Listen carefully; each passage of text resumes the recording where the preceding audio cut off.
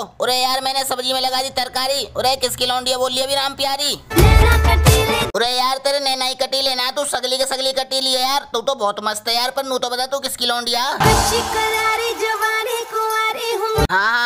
समझ गया ठीक है? तू तो मेरी साली बोल रही है यार लेकिन यार तू देख के मुँह बहुत मस्त लग रही है यार। तू एक काम कर मुँह पप्पी दे देना एक। ले जा तू अभी। अरे अभी आयो ले एक मिनट में आयो।